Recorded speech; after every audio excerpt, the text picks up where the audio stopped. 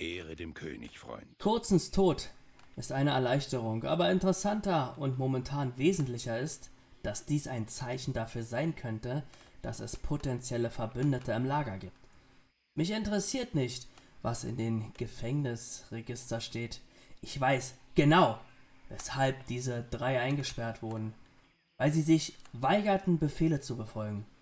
Der Wahnsinn muss sie verschont haben. So wie meine Rebellenkameraden hier.